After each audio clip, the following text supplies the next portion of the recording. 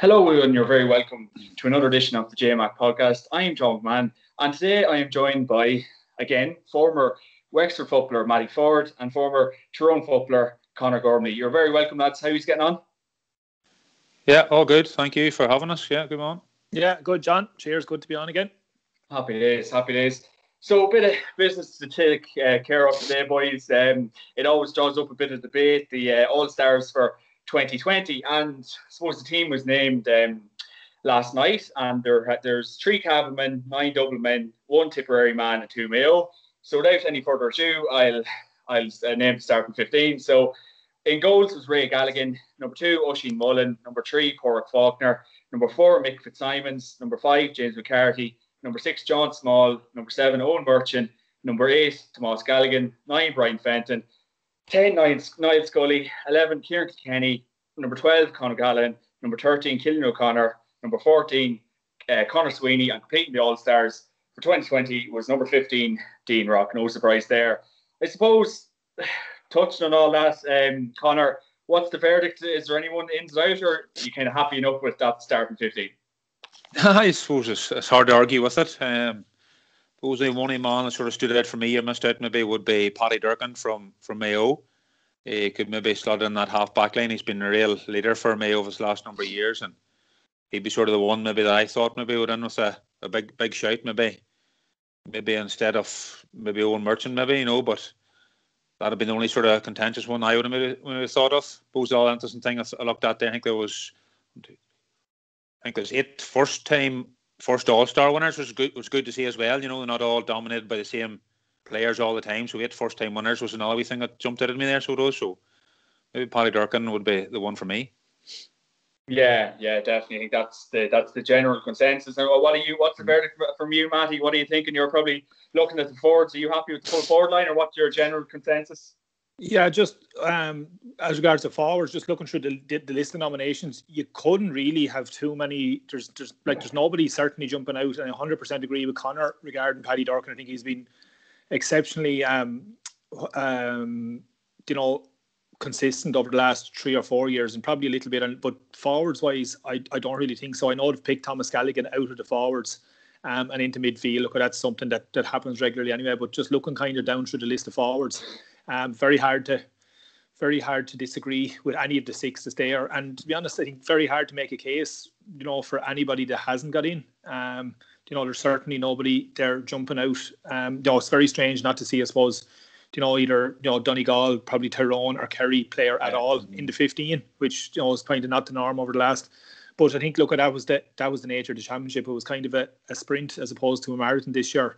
Um, I think maybe one other fella just at the back that might have been a little bit unlucky. I think was Peadar Mogan. Um, I think he'd been excellent up to the Ulster final, and I think you know, yeah. in no, normal circumstances, um, you know, had to be in a back door in a couple more games.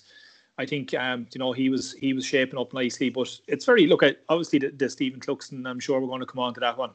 Um, Stephen Cluxton one again is going to cause um, a bit of debate. Um, you know, I don't, I don't see any need for arguments or anything like that over. But look, that's what the All Stars are about. They're, they're, a debate every year, and is, you know, yeah. I think we said just before we came on air, you know, if, if 500 people pick the team, there's probably no two pe- people who would pick the same one. So look at it's that's the that's the nature of All Stars.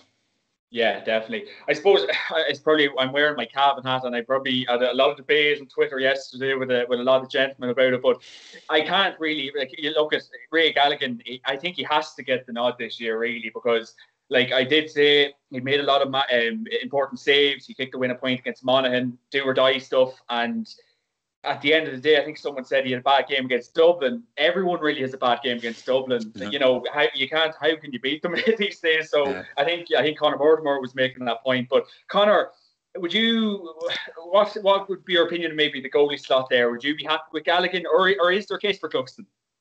Uh, well, we've seen this last number of years, uh, the role the goalkeeper plays within a, in a team and, and patterns of play and stuff is, is massive now, and Cluxton has set the standard for that. But you have to give credit to Raymond Galligan. He, he's what he's done the year for for Cavan. Really, he's the captain. He's the leader for them.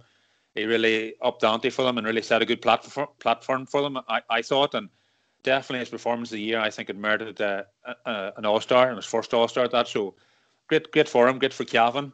Great for the his club and his, and his cousin as well to be to join them. So I think uh, well deserved. as we said earlier, anybody could pick Cluxton in any, in any team. So, but no, I'll give it to Raymond Galligan for his uh, his point against Monaghan. As you say, do or day was set the tone for what Cavan were about for the rest of the year. I know the disappointing finish to the year against Dublin, but uh, yeah. I would definitely give it to him. I would. I know Cluxton probably won a lot and a lot of yeah. all stars and all the rest, but I suppose it's just nice to see somebody new and fresh in there, and I think well deserved for Raymond. Yeah, definitely, definitely. And I suppose we, we, can, we can pick through them, lads. Um, Oisín Mullin for Mayo. God, boys, he had, he had a fantastic, a fantastic year, really. What was your opinion on Oisín, uh, Matty? Obviously, uh, you, I wouldn't say you would have liked to come up against him if you're still playing. no, um, absolutely not. And I think just going back to, to, to Cluxton for a minute, I think like he's probably a victim of two things. One, Dublin's dominance. Um, the fact that he gets an armchair ride through Leinster and you know, he just is not put under any pressure. And secondly, probably of the level that he's brought other goalkeepers up to with his work ethic and you know where he's took the game to. And a lot of other guys, you know, Niall Morgan, Rory Beggan, all these lads, they're following on what Stephen Cluxton is doing. So you know he's probably a little bit of a victim of that, but. Like Connor says, I don't think anyone is going to begrudge um, Galligan. He's he's all star this year. He was exceptional. Um, no, look at Oisín Mullin. I'd say is an absolute nightmare to mark. Um, you know, to speed him. Just the first couple of games I've seen him playing the National League this year. You know, the very second the ball was turned over, he was gone. And oh.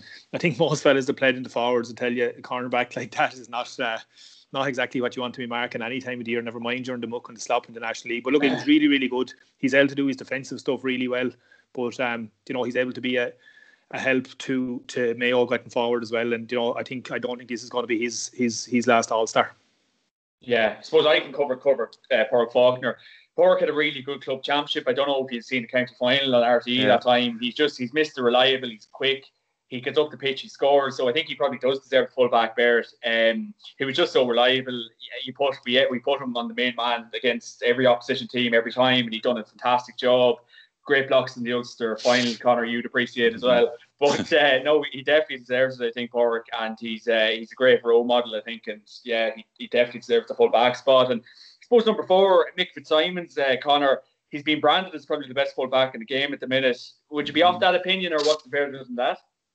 Uh, probably as a as a man marker again, he's probably been the, the go to man for, for Dublin and that full back line as as well this last year too. two. Like his performance level has just consistently has been been brilliant, and again, he, everything he does is without fuss, and again can join the attack and set up attacks and, and, and link that way as well. But just Mr. Mr. Consistency with that Dublin team at the minute, and one of the first defenders you'd always want in your team like that, without a doubt. And I know I'd lo- love to be playing along with him. He can read the game very well. You know, if you're playing a full back, he can sweep and cover in very well and read the danger very well, which a, a good cornerback is always about. Like so, definitely as like the rest of them, I think he's well deserving of his All Star. A third one as well, so he's he's going well and a, vital cog in that Dublin machine at the back. Yeah, he's absolutely fine. And we can push on to the half back line. James McCarthy, Matty, uh, he's I think he's very underrated. A lot of the Dublin boys rate him as probably one of the best ever. How high, like how how how high up you see in your bracket, Matty, and um, does he deserve? He obviously deserves the halfback number five jersey.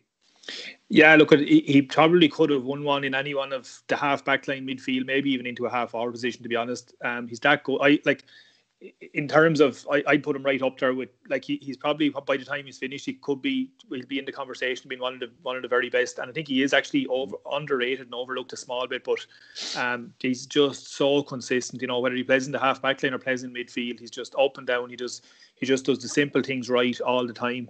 Um, said unbelievably consistent. He doesn't miss games. He doesn't seem to pick up injuries. Um, yeah. and you know he's he's the ultimate team player. Um, you know, Connor mentioned about like to play along with with Mick Fitzsimons. I think James McCarthy is certainly another one of those guys. Like Joe, just the, the, the, first attack in the Ireland final. You know, he was probably within his rights to go for goal, but he lays it on a plate for Dean Rock, and you know he's doing that for years. Um, he's super super consistent, and I said he he could have picked up an All Star in any one of five positions there, really across the half back line or midfield. Yeah, definitely. I'll cover John Small. Uh, John Small, he knows he knows how to mix it. He's rough and ready. He probably gets. He, he's a lad you'd love to have on your team, not against him. I think he was he had a fantastic year. I think it's overdue as well. A lot of people are saying, is this his first All Star, lads, as well? I think. Um, yeah, it is, yeah. So from that point of view, he deserves it. Uh, the tough year, I think, is, is his dad would have passed away last year as well. So th- I think this is like the cherry and uh, the, the icing on the cake for him. But uh, he had a great year. He's very solid, and he's just a lad you'd love to have alongside you, essentially. Um, Eoin Murchan, Matty, an absolute speed speed merchant, and he looks about ten years of age. Uh, sum him up. Yeah, um, that was the first. That was definitely the first thing I would have thought when I seen him maybe a couple of years back playing. I said like, Jesus, this lad has been slipped in from the under twelve team or something. But um, you know, he's not there for nothing. When you look at the, the players that Dublin had, suppose sitting on the bench over the last couple of years, and Murchan was one of the guys who was consistently starting and consistently playing well. Obviously, was was excellent in last year's replay. Um, you know, he he probably absolutely deserves it. As Connor said earlier on, you know, it's, it's the one place maybe where you know I don't think anyone would have had too many gripes had Paddy Durcan been been in there mm-hmm. instead of him. But um, you know, over a period of time, a couple of years at this stage, two three years, um, I don't think anyone would would disagree with his inclusion. Um, you know, he can score as well as doing his his uh, his defensive duties really really well, and you know he's he's always an option to, to join the attack. And you know, I said as Connor was saying about Fitzsimons, you know, he, he's you know for a guy with I suppose I'd say little experience, but only playing a couple of years. Um, you know, he's excellent at what he does around the half back line, and kind of he's, he's there's no fuss about it, and he just gets on. I think he's I think he's he's going to be excellent. I said he's going to have a couple more All Stars to come as well. Yeah, definitely. And so, was moving on to midfield, we've Tomas Galligan from Cavan. Um, you you obviously would have been watching Ulster very closely, Connor. Um, yeah. I suppose describe what Thomas was like over uh, over the Treads Championship. Um, I had, he had a phenomenal championship. Um, just a real die-hard player that I sort of seemed, you know, just would never give in. You've seen a few clips of him chasing back men and no, and no called him maybe. Just was a real workhorse, a real warrior. You know, he could fetch ball right in the middle of the field or inside and full forward line. He was very dangerous as well. So just one of them players that you would love in your team that you know you're going to war. Thomas will be with you and you have your back, and no matter what happens, and a deserving first first All Star for him. He was a leader for that Cavan team as well, uh, around midfield or even the full forward line. You seen him tracking back too, in the Ulster final as well, tracking back and working hard as well and putting in the tackle. So a real sort of a, a workhorse around there and one of the players that you would love to be love love to have in your team. You know, there's just no maybe no airs or graces about him. You know, he just works hard for the team and does the job for the team and you know, just uh, along with Fenton there, he's uh, just uh, Fenton does the, the stylish work, and Thomas will do the do the hard, dirty work for him. And you need boys like that in your team if you're going to win championships, and especially also championships. You need boys to get down and dirty for you, and Thomas is one of them. And uh, fair play to him, he's, he's been exceptional in the year and deserves it. Yeah, Jesus, it's mad. He, would have been in the same year at school as me and Cavan here, and he was just even in first year, he could have probably done a job with the senior team. He's just uh, an absolute tremendous man. He's, he's, he's, he, he deserves it so much. He, I know how much work he's put into it. I'll do uh, Brian Fenton. I suppose Fenton, what can we say, lads? Complete footballer, probably the best footballer of current crop at the minute. Like, look at what the five All Stars now. You can't fault him. Like, like I, I remarked on him. I think he kicked uh, wide against Dublin, and it just looked like he's seen a ghost. One little mistake. Um, just a six stick man, and look, he's probably in line for another All Star, another, another five or six if he keeps himself right, which I know that he will. Um, moving on to the half forward line, Matty, Niall Scully. Um, I'd say underrated and kind of goes about his work very quietly. Yeah, absolutely. You know, covers huge ground. He's not afraid to get back and, and do his defensive stuff either. Like Connor was saying about Thomas Galligan, you need, you know, you need fellas. Every every team needs an Niall, a Niall Scully. You know, Connor's great team, the likes of you know, Gerard Cavlan or you know, do or even Brian McGuigan yeah. or lads, guys like that. You know, you need guys. It's just it, it's the it's the probably the stuff that not many lads find too um, popular or sexy to be doing on a football field. But Niall Scully does it really, really well. You know, he's also a huge scoring threat. I think, which is kind of overlooked a bit. But um, you know, he's the one constant probably in that forward line along with Kilkenny um, over the last four or five years where with Jim Gavin's last probably four years, and now again with Desi, he seems to be the one guy that starts every day. And I think in a team that can rotate players and not really, you know, lose anything, he's the one fella that's been there constantly. Um, you know, he's been excellent, really, really good. And you know, there's I think there's a few more years to come from him as well. Yeah, jeez, without a shadow of a doubt. And Kieran Kilkenny Connor, um, she's an unbelievable footballer as well. She's these Dublin yeah. boys, like Mr. Dependable up and down the pitch another man that can't really do anything wrong either. I think he scored against Zamba soccer style goal against Laois in the Leinster Championship as well. Connor um, definitely deserves deserves that number eleven jersey. Oh, without a doubt. I think I think him and like so him and Brian Fenton are just two Rolls Royce of footballers, like you know, and to both of them come along the same time for Dublin has just helps their cause that wee bit easier, you know, to to have one stuff, you know, but the orchestra of the Dublin machine. I think you know a lot of stuff goes through him, even just maybe simple wee hand pass and stuff. But he seems to always be on the ball. He sort of reminds me a lot of of Brian McGuigan that played for us. Like he just was always there, always available, always kept the thing ticking on. Again, could be a threat inside as well. You know, he's played in full forward a couple of times and, and can win his own ball and, and can be a scoring threat, which is which is massive. Uh, and a forward, that sort of versatility. From a defender point of view, is he going to play in the half forward line? Do you follow him in the full forward line? You know, he's causing you endless endless headaches and just winning his fourth All Star. Like and as like somebody said there, these boys can can go on to win five, six. You know, there's never ending what they could what they could do. You know, but you look at that half forward line of Niall Scully, Kilkenny, and, and Con, one of Con, and along, uh, along with Ian McCarthy, one of my favourite players, you know. So just an amazing half forward line, and they're going to be going to be there there for another number of years, unfortunately, for, for us and high up in Tyrone here. Yeah, Jesus. And uh, completing, as you were saying there, Con O'Callaghan, King Con, King Con, as the Dublin boys call him. Um, I don't know. Look, I'm still waiting on DNA results for him to come back as a human. Some of the stuff he does, uh, I think it was against Roscommon. I'll never forget that point he scored, landing on his feet, looked like he broke his ankle, got That's up. Right. Unbelievable. Um, yeah, great, great year again. All action, uh, very reliable player. And what more can you say, boys? Number twelve, Con O'Callaghan completing the half forward line. Um, probably it's ideal, Matt, that you land on Killian O'Connor. Um, yeah, number thirteen. What what do you think? What's the verdict on that? Um, just actually, when you're chatting there about the half hour line, like it's probably the first year that I can remember that there won't be much of a discussion about who missed out in the forwards. Mm, um, such as was the quality of the six of these fellas. Um, you know, as I looking through the list of who who didn't get in there a couple of minutes ago, there's nobody you could really make a really strong case for. So, but look at the six of these lads were, exceptional, and like Killian O'Connor's record over the last ten years, like it's just it's ridiculous to be honest. Um, you know, everyone says, oh, they get a lot of soft games in Connacht and stuff like that. You still like score frees still have to be scored. You still have to score from play. But like in fairness, he's doing it against the top teams and has been consistently. He yeah. seems to be about 37 years of age. Um, he's been around that long, but you know, like and there's a couple more years left in him as well. I think he was young footballer of the year twice as well, wasn't he? Um, yeah, you know, absolutely been, yeah. phenomenal, phenomenal player. 45s, frees. You know, people kind of I suppose not well criticise him a small bit that he didn't score much from play, but certainly over the last three or four years, I think he's really rectified that in style. Um, and again, it's probably not his not going to be his his last All Star either, I'd imagine. Yeah, yeah.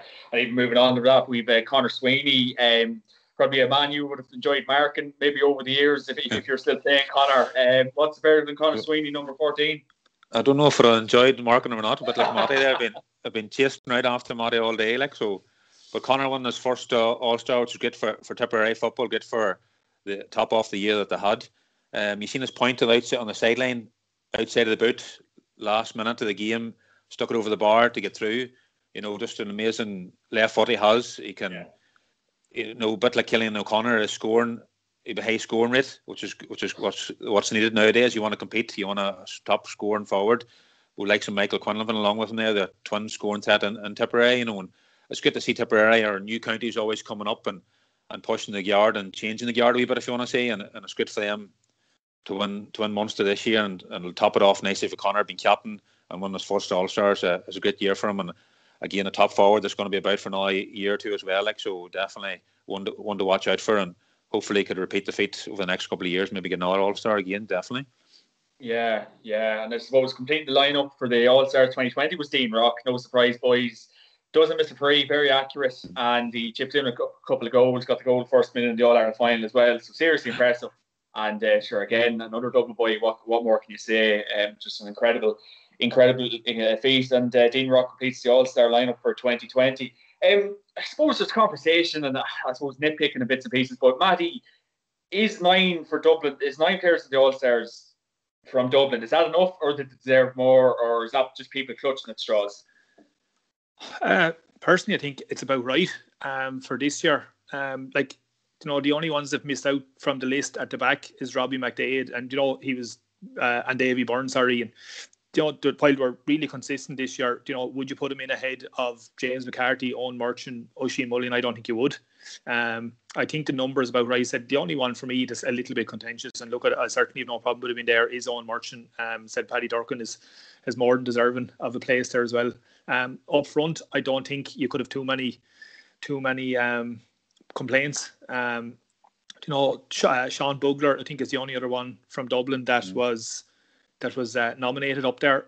look, I don't think you could really have have too many complaints. He was taken off in a couple of games, wasn't playing particularly bad. But again, would you put him in ahead of anyone that's there? I don't think you would.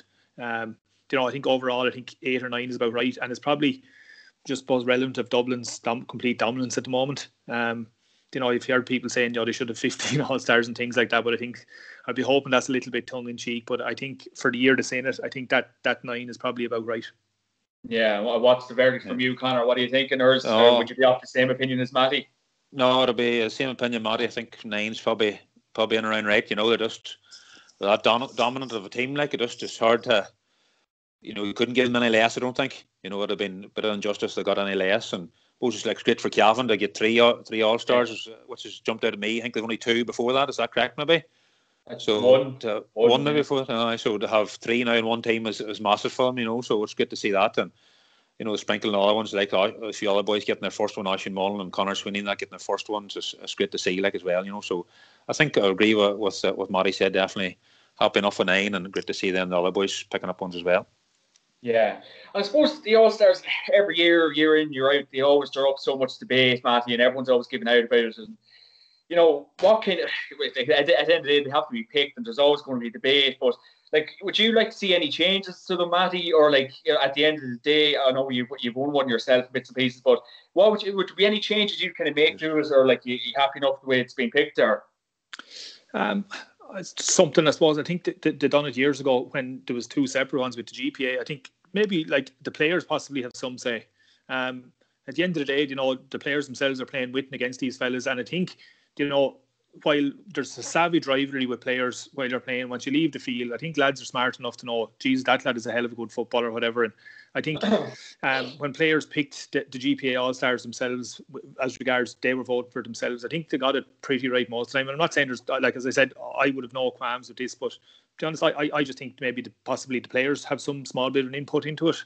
Um, I don't know if anybody had I'd have a, have a huge issue with that. But you know, players, in fairness, will will generally go for the for the fella they absolutely think is best. And I said, I'm not I'm not saying journalists don't do that, but lads, I think have different uh, players will have different opinions or a different perspective on, on different players having played with them and against them um, over a period of time. And um, it's just it's just something I'd like to see. It's not, you know, I, I don't have an issue with it. I never had. The one thing that, that I suppose does maybe annoy me a small bit about, and again, look, at it's only I said it's only nitpicking is you know players being picked completely out of position. You know, if you're a half hour picking the full far line, that's fine. But yeah. it's just you know doing you know p- p- the picking defenders at the in forwards or positions or vice versa. You know, is is a little bit of a bugbear of mine. But again, look, at it's it's not something I have a, a major issue with, to be honest. Yeah, I mean, obviously, Connor, you won you won three of them, so you're you're well used to receiving them. I suppose when you when you were playing, like I suppose I pose the same question to you, Connor. Like, would you like to see any kind of changes, or are you kind of happy enough with the way the format is? Um, maybe changes. A lot of it can depend on. I know it's an exceptional year last year with the way things went, but a lot of it can depend on maybe how you play. Maybe in two games, if you play in Ireland final and Ireland semi final, if you had two great games there, you possibly get an All Star. So maybe taking into consideration National League and maybe more the provincial championships. Uh, if you went down the hurling route, no, the hurling have tier different tier championships. Would you go into of maybe tiered all stars, something like that? Maybe could be an option. You know, the so-called maybe weaker counties are are maybe missing out. They aren't getting the the limelight. Is seen with nine dubs in, and they're going to be there thereabouts for the next number of years. They're always going to be an all-star team. So, what about the smaller counties, the smaller teams? Is there something that could be introduced or wee bit of incentive for them maybe in an all star trip, maybe a second team that them two teams then go away and play each other as well, you know, like the two years go away and play yeah. each other. Maybe would you give a, a lower tier, the maybe division threes and division four teams an all star an all star team to go and play that, that team there, for example, maybe something like that could be uh, I'm just thinking off the, the top of my head, someone more incentive for the for the smaller counties, maybe if you want to say, or the teams in Division Three and Four. Yeah, I suppose there's a bit of debate, Matty, about maybe Kerry, or sorry, not even uh, David Clifford from Kerry getting a nomination, and I know Cork bet them in the championship, but you know, there's that kind of to a certain extent make a bit of a bluff job out of it because maybe there was more Cavan as or Dublin lads probably deserved a nomination. David Clifford getting nominated, Matty, what was the verdict on that, or you know? I look at David Clifford is one of my is probably is my favourite footballer playing football at the moment. Um, but I thought it was really strange to be honest. Um, but look, just looking through the list, like genuinely actually kind of looked like they were almost trying to make up the numbers, and I don't mean that in a bad way against anyone that's picked, like because there was such a little, there was so little time for players to impress. Like I think uh, Kerry's championship was, I think Clare and Cork. I think that was it in yeah. two, two in, in two really bad, two really bad evens. Um, like as Connor is saying, if they're going to take into into account National League form, that's absolutely fine. But you know, on championship form, I'm sure David Clifford would have been as surprised as anyone to be in there. But look, I said there's a couple more, and it is an exception. It was an exceptional year, and hopefully we don't have another one like it again. But um, I think this year it was kind of a matter of of filling. I think really filling positions in nominations. I said I, do, I hope that's not being harsh on anyone because just looking through the list, like there's there's some guys that certainly wouldn't jump out at you to say, well, you know, they, they had a shout of being in the All Star team because mm. you know I just I just don't think that's the case this year. Yeah, I suppose the big thing is like the ones who take it in, like uh, so Cavan and Tipperary and bits and pieces, Connor. Is it so probably imperative and important that you know the likes of Conor Sweeney, Paul Faulkner, Ray Galligan, and um, Klaus Galligan, like it's it is like at the end of the day, it is very important that we do try maybe get another few and even have another good year this year or the following year or whatever. Oh, it definitely is. Uh, you don't want to be sort of hit them with like maybe one hit wonder or whatever. You want to keep these boys up here, these teams up here as much as you can. And I suppose that's the they know the standard now that requires now to, to get to all star teams. And it's up to them boys now to keep pushing on and, and, and trying to achieve as much as you can. And maybe at the, at the start of the year, you don't set out I'm going to win an all star, but it was a, a, a great bonus to have at the end of the year. But it's yeah. to keep as much going as you can and try and keep playing as well as you can and keep boost your your your position in the team first of all, and then push the, the county on as high, high as standards they can get to. And that's uh, you just seen how much it meant to Padraig Faulkner yesterday. I think it was a wee clip of seen, clip of video of him there, so he was really excited. It just shows you how much it means to the people like him, you know. And it's great to see boys like that winning their first All Star, and it's it just was an exceptional year, and it's just it's just nice nice bonus for them as well to get it now. Yeah, like I'm kind of looking at the full back line and half back line here, Matty, and I'm kind of thinking they're they're all very quick players, um, and like uh, maybe Mick Fitzsimons might be the um, exception there. But uh, you know, I suppose when Connor was playing the kind of the full back role, half back line role, like has the kind of we have remarked on it, has the kind of the half back line, full back role kind of changed? Like you, you really do need to be supporting and scoring points uh, to be helping your team these days. Yeah, it has. Like, there's looking through those guys. There's very few of those guys who will sit back and, and play in their in their position for, for, for 70 minutes. Like Oisin Mullin just wants to get forward and wants to get on the ball and, and affect something going forward. I think that's why a lot of the top teams now are the top teams because they're able to do that. Um, and the players have the have the capabilities of doing that. Like you know, look at the like the the uh, Tyrone defenders, the Kerry defenders, any of the top teams, particularly the Division One teams. And look, we're looking at we're looking at uh, what 14 um, all stars that are in that will play in Division One next year, I think. So mm-hmm. like that's why they're there as well. They are, they are the best players in the country. But I think you have to be able to adapt. I think the day of a guy just sitting at the edge of the square, a guy standing at cornerback all day, I think that's that day is starting to pretty much go out the window, you know. And Dublin, in fairness to them, um, have brought it to a new level where you know every one of them are comfortable on the ball, every one of them are comfortable kicking, and you know if the if the occasion rises, most of them are, are comfortable enough at kicking a score as well.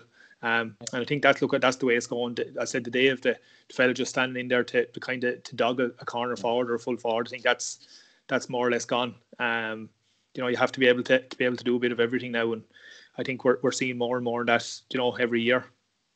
Yeah, I think I think on that point too, just John about them boys joining joining the attack. But when the day job has to be done back at defence, they're there too. They just don't go forward and say, "That's my job done. I've joined the attack and set up a score." They're back helping out as well, you know. So they're constantly up and down the pitch, which is which is great to see from a defender's point of view.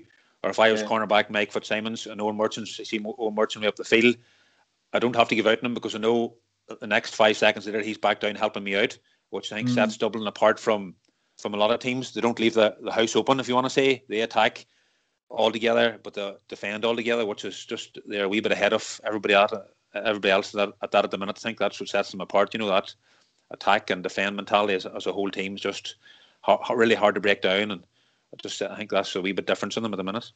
Yeah, and like we can't really. Like, I know I, I it was my turn to pick on Fenton, but uh, you know Brian Fenton, Connor, he just stands out every single game. He's probably the most consistent footballer I've seen how impressed are you by him, Connor?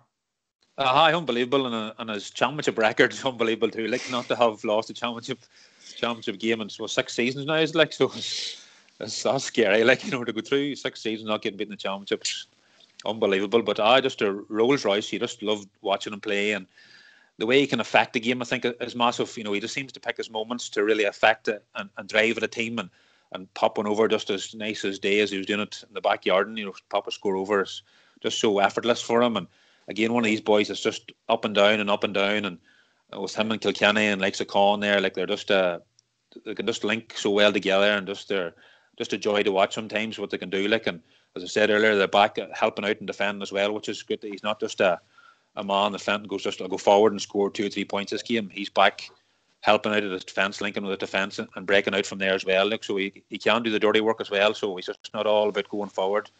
For, but from a defensive point of view or defensive head, he, he's very capable of doing that job as well. And you see what what I like about him as well. You very very rarely see him uh, anybody having a, a really good game on him. You know, or really taking him to the cleaners. He's really just Mr. Consistency in there, and he sets the platform for a lot of good work at Dublin do. Yeah, and I suppose Niall Scully kind of looking at the half forward line, uh, Matty. He's probably just he's just a very important cog in the wheel for Dublin, and he probably does a lot of work that goes unnoticed. He pulls the strings really. How impressed are you by Niall Scully, Matty?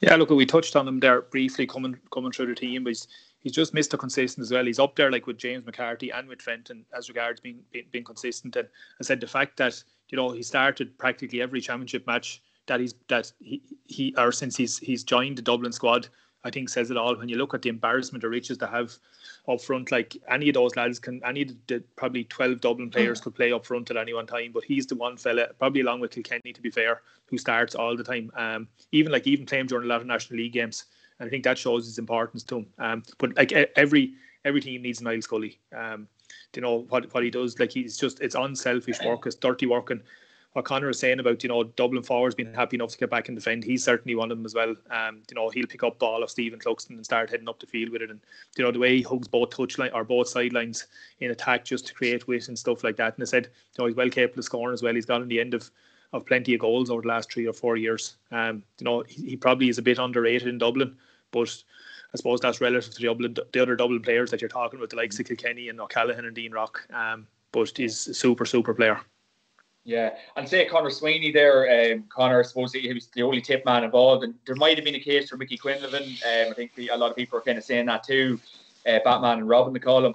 Uh, Conor hmm. Sweeney, Conor, um, you know, how impressed are you by him? And I suppose that outrageous kick he uh, along the sideline as well. Like, I'm presuming you've seen a right lot of him during the championship. Uh, I've seen, I noticed him that he he's probably stepped up a, a lot now to be the, the leader of that that that Tipperary team. He's been he's been the, been the captain now this year, which was massive for him. But just an exceptional player. We touched him as well before. Like he just that left foot to him, and you know from freeze or from play, you know he can. The last day in the semi final, maybe they were under a lot of pressure. He seemed to be the one that stepped up and pushed pushed the thing on a bit and got a few scores for them. And I know that it wasn't easy against against Mayo. There were a big deficit deficit, deficit there against them, but he seen one chipped away at them and got them going again. You know, so it, shows you when the things are, are tough that the character he is that he can lead that team from the front, and it's just yeah. it's great to see, and it's great to see him picking up a first All Star and, and, again one for Tipperary. And those have been one been too many successful days, and for Tipperary football, they've been maybe living in the shadows of, of the hurling team for a long number of years there. But great to see them, and they've seen the joyous joyous scenes they had. Winning that Munster title was, was was a massive day, and it was great to see it. And you know, Conor's the, the one there that'll lead Tipperary forward or Tipperary football forward for the next number of years, I think. Yeah, and suppose, Matty, who would be your? Geez, it's, it's it's a tough, tough question. I think, and a lot of people's kind of rooting around with it. But who would be your player of the year from that, uh, Matty? I suppose. Um, I think I personally I go for Brian Fenton. Um, I know we've you've both talked about him in depth. He's just I think he's just his level of consistency is just phenomenal. I think maybe Barn, I think it was at the draw in All Ireland against Kerry where he probably wasn't at his usual ridiculous high standard, but he came back into replay and was unbelievable. Um, he very, very rarely, not even has a, a poor game. He rarely even has an average game. He's just his his level of consistency is unbelievable, and he can do everything. You know, he's two footed. You know, he knows the right time to get forward and kick a score. He knows the right time to win a kick out. Um, you know, and he's just he just looks at he looks like he's doing everything kind of at about sixty percent, and I think that's the sign of mm. of really good players. Um, obviously it's going to be really close, I think, between himself and Kilkenny. Um, but I just think for again for consistency over you know six years at this stage and don't having not lost a championship match in six seasons is, is ridiculous. Um, but I think he's been really, really, really good again this year. Um, look at it. I don't think he'd, he'd be too upset not winning it. I think it's it's absolutely more about medals, and so it should be. But you know, at the end of a, of a year like that, you know, it's nice, it's nice to pick up either an All Star or pick up Footballer of the Year. But um, you know, it either one of them wouldn't be a surprise. I certainly wouldn't have a problem with either one of them. But for me, I I I'd go for Brian Fenton. And what about yourself, Conor? Who'd be your player of the year? Uh, I totally agree with Matty there. I think it wouldn't be a surprise. Any of the two got them, Kieran or, or Brian, but it'd have to go with Fenton again, just as we mentioned earlier the, earlier on, the, the Rolls Royce of that Dublin machine and just massive, massive player for them. And I think without doubt, winning Football of the Year was uh, well within the capabilities of doing it again in the year again. So just a massive player. And it's a joy just to be watching these type of players, you know, sitting back and we can watch and enjoy them. Was a wee bit like Messi and Ronaldo sort of type thing, you know, just, just great to sit back and, and watch these boys perform and it was difficult circumstances last year and all the rest and they put their a lot of things on, on hold for us to sit back and, and and watch them so it's just a joy and hopefully we'll get the chance to see them later on the year again hopefully yeah. do, doing their thing yeah yeah I think I'll think I'd go with Kieran Kilkenny. I think for Player of the Year, I think he was him or Fenton. Really, at the end of the day, you wouldn't you wouldn't be surprised if either boys got it. But I think Kieran Kilkenny probably gets the uh, nod uh, for myself this year. And I suppose to look at look at 2020, um, Matty, what would be what would be, what would have been your moment of the year? Um, like I know a lot of stuff would have happened, but what what stood out for you? Um. I know I'm going against your your fellow county man, John, but I think Tipperary winning in Munster. Um, you know, they're they're really fighting. Um, not I wouldn't say a losing battle down there to be fair, but you know, as Conor touched on there, they're really struggling down there, you know, to, to gain support. Um, obviously, they're the, they're the second sport in Tipperary, the same as ourselves here in Wexford, to, to, you know, very much so to hurling. Um, but you know, David Power, who we had here in Wexford ourselves, and um, you know, who's a proud Tipperary man, won the minor with them in, in 2011. Um, you know, he's gone in and he's got some really good people around him. You know, they like Paddy Christie obviously is one of them, but you know, there's a lot of good football people in Tipperary, no different to anywhere else. But I said there, there really are, um, you know, a, a, solid number two down there to hurling, and to see them, you know. Beating, beating Cork. Um, obviously, you know, people say, "Well, look, at it didn't beat, they didn't beat Kerry in the final." So, does it count. But look, at for them to, to win a Munster final after that length of time, you know, is, is unbelievable for them. And you know, look, at there was lots of really good stories in the championship this year. Clearly, Cavan, you know, absolutely as well. Um, but for me, it's like the footballer of the year for me, just slightly um, the Tipperary story. I think just shades it. Yeah. What What about yourself, Conor? No pressure. no, I have to stick with. I agree with Matty. Um, Tipperary was massive, but I suppose following our your own provincial championship, we'll have to go with Cavan winning winning Ulster was was massive. Um, written off nearly every year. You're looking at Tyrone, probably Donegal and Monaghan ahead of them nearly every every year. So it was great to see them put in the performances that they did. Really worked hard, worked, worked the final whistle, never give in. It was sort of nearly destined for them to, to win it the way the way they started off against Monaghan. You know, so it's just great to see them win it. A bit of a change from them sort of top three, if you want to say, but I think they fully deserved it the year, and uh, it's up to them now to go and build on it. You know, just don't leave it as, as a one-off. So it's up to them to go go and push them sort of big three, if you want to say, get get get, get them out of the road and put Cavan football back up where where they where they want to be. I'd imagine they don't want to be sitting behind them them three counties all the time. They want to be up at the top table, and it's just a great great to see them. And the performance of the been was, was massive, and just it was a bit of a fresh air, blue fresh air into, into the championship, and we're looking all again forward now to hopefully getting a good Ulster Championship in a game this year. It'll be good to see Cavan how they get on now after being Ulster Champions. Yeah, without a doubt. And I suppose we've seen in recent weeks, uh, Matty, Ronan McCarthy, the Cork manager, has got a 12 week ban. I think it was starting a few days ago when people were saying, geez, he'll, he'll be sitting and relaxing and he'll, he'll probably be back by the time um, football's back. Matty, make sense of that if you can. Um, look, at I suppose what they were doing at the time was a bit silly. Will he be sitting back and doing that for 12 weeks? I wouldn't imagine so. Um, you know, look at he's still. I would imagine he's still going to be involved some way. The, the, lads, I'm sure, no matter in most teams around the country, whether it's hurling, football, junior or senior, never mind intercounty, will be doing something. Um, obviously not not collectively. Um, I think it'd be it'd be silly in fairness to say that that's happening, but there will be still be doing stuff. And look at obviously he's going to have a hand in, in what they're saying.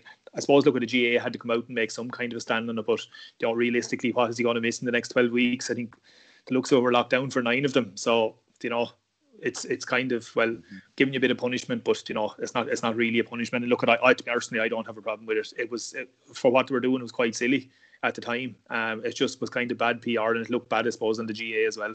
But um, you know I don't think Ron is going to have too many sleepless nights over for the next few weeks.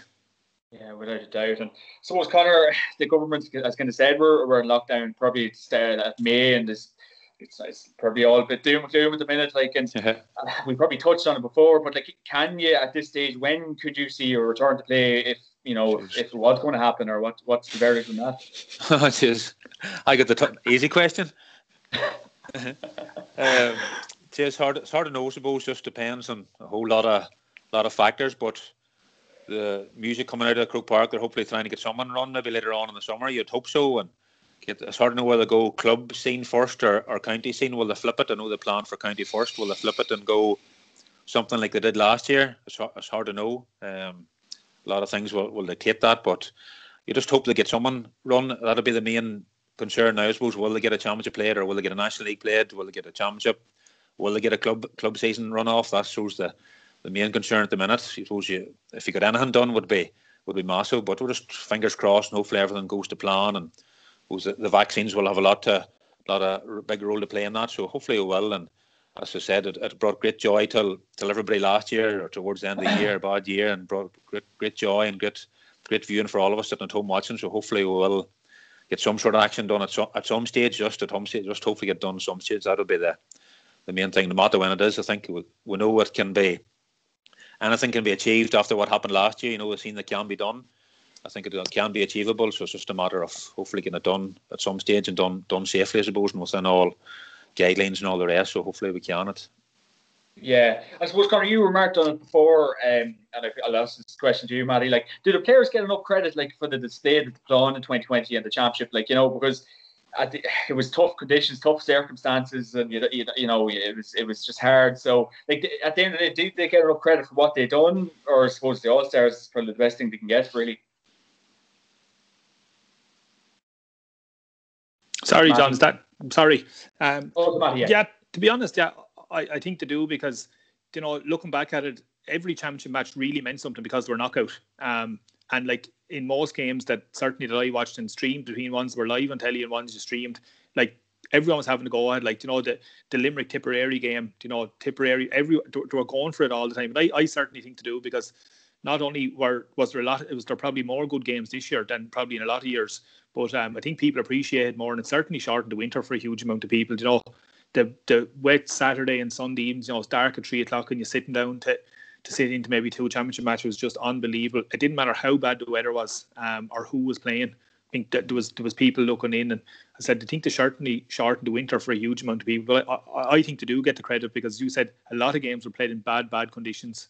Um, but like there was, there was some brilliant football played. Like you know that I think it was the Cavan Down game, for instance, springs to mind. Like that was played in, in really bad conditions. It was a super super game of football. And look, there was plenty more as well, and obviously in hurling as well that we'd be taking a, a, huge interest down here. And I think it was the case this year. There was probably more people watching GAA matches than ever because there was literally nothing else to do. And I think you know, it as I said, it shortened the winter. Um, you know, I think that they do get the credit they deserve, and you know, we were delighted to see it. And as Conor was saying, you know, hopefully there's some some way that they can get a championship played this year under look at if it's going to happen it looks like it's probably going to be the same. It's going to be a straight knockout but I think that adds an extra bit of spice to it too because every single game matters and you know, the likes yeah. of the bigger teams you know you can't have an off day or you know you're going to have you're going to have have shocks and upsets but I think that's that's part and parcel of the championship and I think it's it's a really exciting part of it.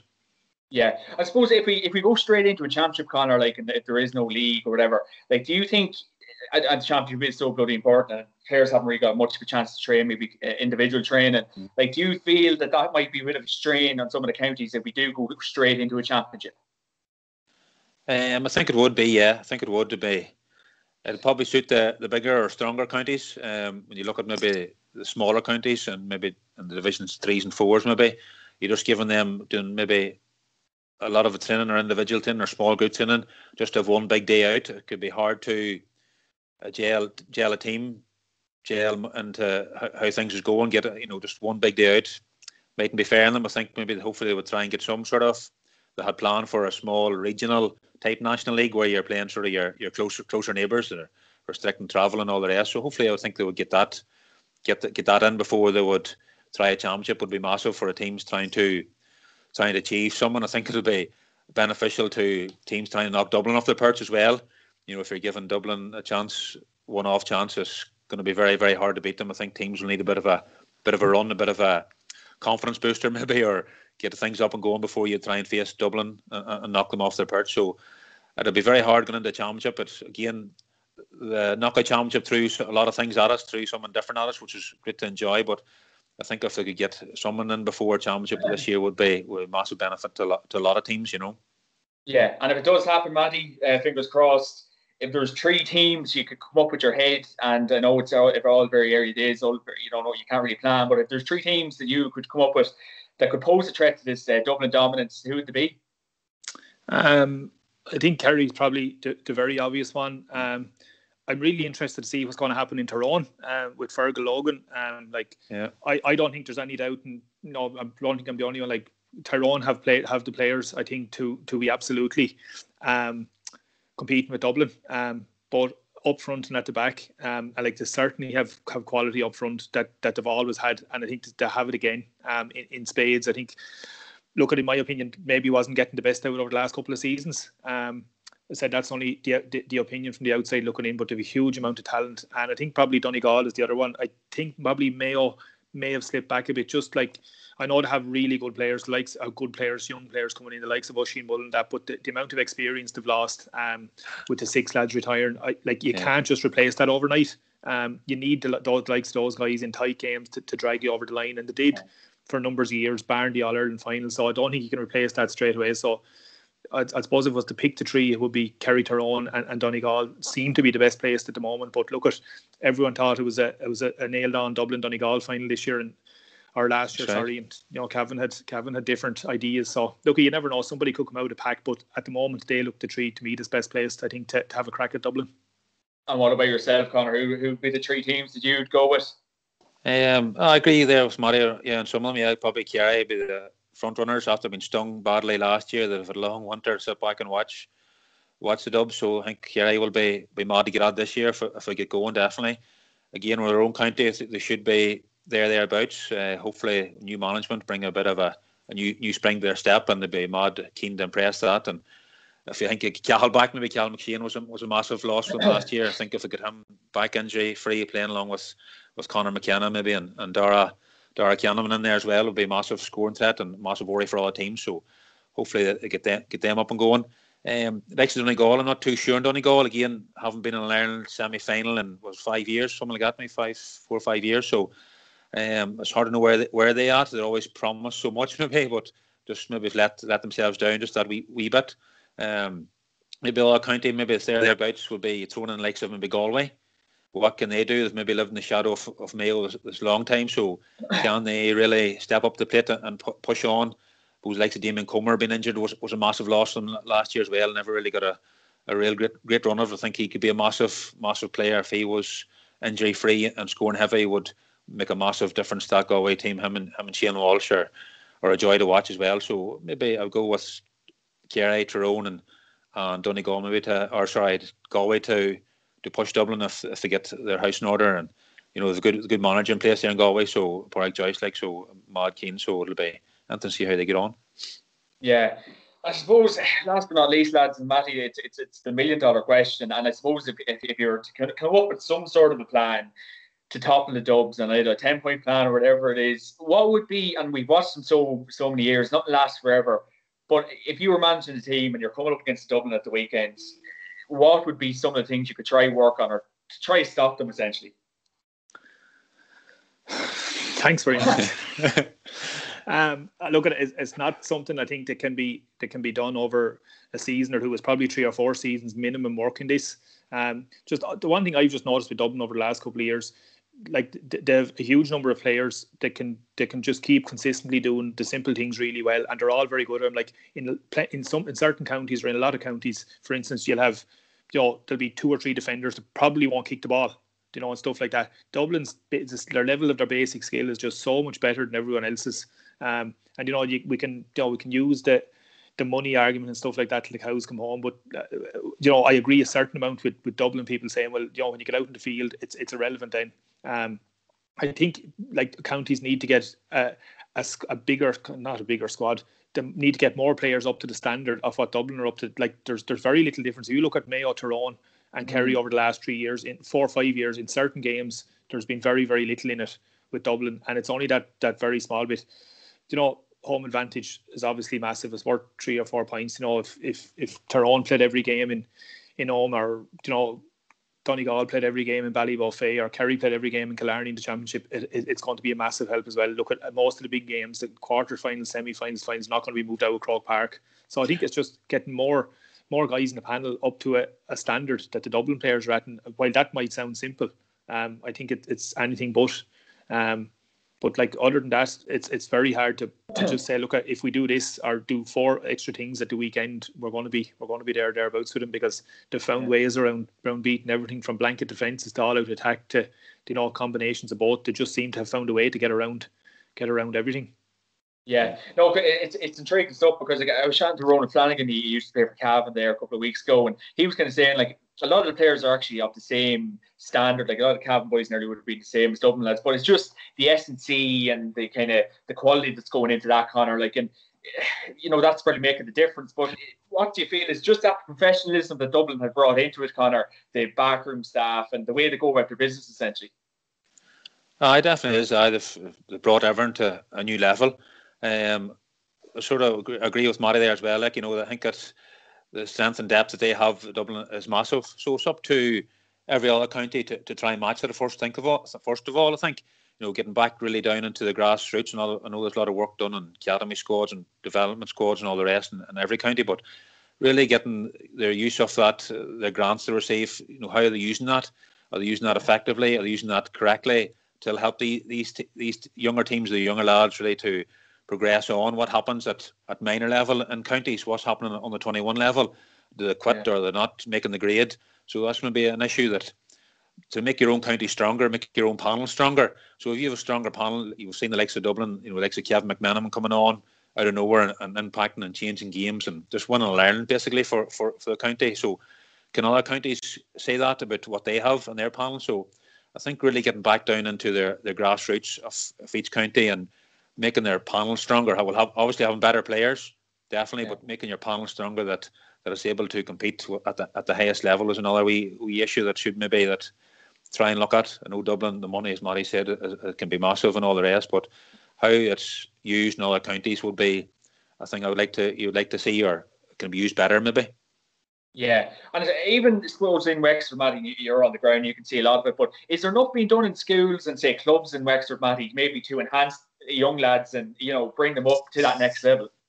No, absolutely not. Um, you know, Anthony Masterson, our, our, our, former goalkeeper, has, has, you know, he's he's at the job about two or three years, and he's doing unbelievable work. But like, it's it's not a job for one or two or three fellas. Like, I, if you, I'd say like there's a lot of, of Dublin clubs have probably two GDOs, never mind one. And Anthony, to be fair to him, is doing unbelievably good work, and it, it's it's it's only a kickstart, but like it needs to be done in every school. It needs to be done in every club. Clearly, obviously, we're not. I, wouldn't say battling with hurling, but like we, we, are competing with hurling down here. There's there's no doubt about that. And at the moment, you know, hurling is hurling was always the big deal here, but at the moment it's really big because they're getting to Leinster finals and All Ireland semi-finals. But uh, like our like say for instance, I remember watching that Cavan County final you, you, you spoke about on telly, and like the physical conditioning of those guys.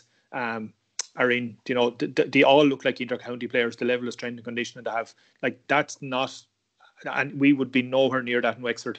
Um, if you looked at the, at the county final, Wexford players do not look like that, and that's not, that's not. Um, as I said, a, a slur on any individual players. We have certain teams and certain clubs who have got strength and conditioning to a decent level, but like it was literally the first couple of years. Probably I played with Wexford, which is over 20 years ago at this stage. And to be honest, we haven't come on a whole lot. The county team marginally behind that nothing. The first couple of years I played with Wexford was frightening coming up against these lads in the north, and that's that that's genuine. Like you know, I remember I think it was '99 or 2000. Armagh, I think won one in Ulster, uh, one of the seasons. I remember seeing McGeeney, and I think it was Paul McGrane lifting the cup. Um, I think I said this maybe just a couple of weeks ago. Like, like I said, their arms were kind of we were just going, "Fuck, what's going on here?" Their arms were like out like legs, you know. But just they were so far ahead of us, and to be honest, it, it even feels now that they've got further ahead of us in Wexford. Um, you know, in fairness, the likes of the Tyrones, the Kerrys, a lot of the good Division One teams, they seem to have a really good level of strength and conditioning that goes right back down We don't. Yeah. And like I, have been saying this for not for years. I've been saying it for a good while that you know having massive, having really good strength and conditioning problems is not going to win you games. But I mean, it gives guys more confidence. and all. like the first year I played football at Wexford, I was 11 and a half stone. Um, by 2008, by the by the All Ireland semi final, the kind of was nearly one of the last games I played, I was up to 14 and a half, where I could physically compete with lads with the likes of Conor and you know guys that are as big as you, and like that's where we're really struggling as a county, you know, from from very top to bottom. And I think if, if you know if we have seen the likes of Wexford playing Dublin at the moment, I think it'd be like men and boys. Um, and until we get it sorted out, I said I don't think it's going to be the be all and end all, but I think yeah. it has to it has to be the starting point. You just you cannot mm. survive playing inter-county football now. You know at the level of strength and conditioning that that the likes of a Wexford or you know there's probably plenty of other counties in Division Three and Four um, doing the same or at the same. You just can't survive um, where we're at at the moment. Yeah, and Conor, like I suppose he has a fantastic facilities up in Tyrone, and like it's stage is probably set. He's all the players back, and would you kind of be off the opinion now? Now's the time to deliver, or do you still do you still feel there's a bit of work to be done in the grassroots levels? I think it's there always is always work to be done at grassroots levels. Definitely is. Um, it's, a, it's going to be an ongoing project to try and get counties up to the level of Dublin have set. Like it's going to be no matter where, what you do or what you win, it's going to be the standard that they've done is is going to be hard to reach. And Matty said that it's up to those clubs and all the rest to get get players up there. Um, but it's in Tyrone, like uh, the setup's fairly good. A lot of clubs would be, I know a lot of clubs closer here, like Kildress to myself, or brand new club room going up there and a brand new high tech gym went in there just a couple of weeks ago, which was great for them. And they they were Division Three team in Tyrone there. They're, they're getting promoted for this year in the Division Two, but you know they're doing a lot of great work with clubs like and Tyrone, and they're they're producing good good quality players as well. So and they're they're they're competing at the highest level now too, like with with the county squad, you know. So as I said earlier, like having them three boys in up up front is going to be a massive boost. Um, the new management will, just take a bit of time to settle thing and settle down, and I know they're doing a lot of a lot of online stuff at the minute, doing a lot of Zoom Zoom meetings and a lot of tactical stuff and uh, things like that, and they're doing their doing their running and all individual GPS runnings and all the rest. So it's they're they're preparing hard, but maybe still a bit of improvement to do as well. You know, maybe that wee bit of inconsistency at, at the highest, at the, at the most important time, maybe has let them down a wee bit.